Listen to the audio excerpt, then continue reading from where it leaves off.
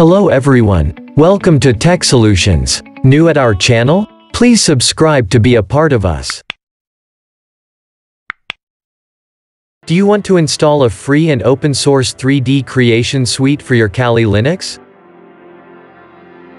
Let's install it. Open Terminal app on your Kali Linux.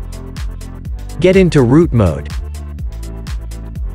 You must have root password for this. Let's run update.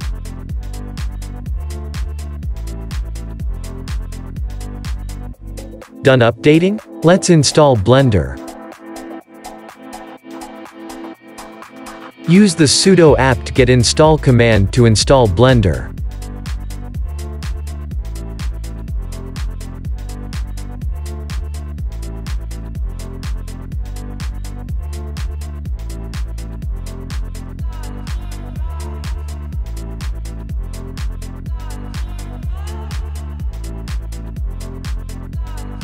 Installation may take couple of minutes to complete.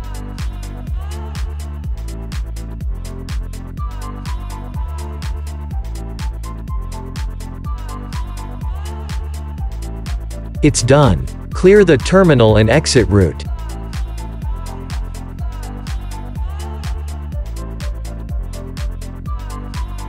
Let's try launching Blender. It's working. Congratulations! You have successfully installed Blender. Start creating 3D content on your Linux. Happy learning. Thanks for watching. Good day.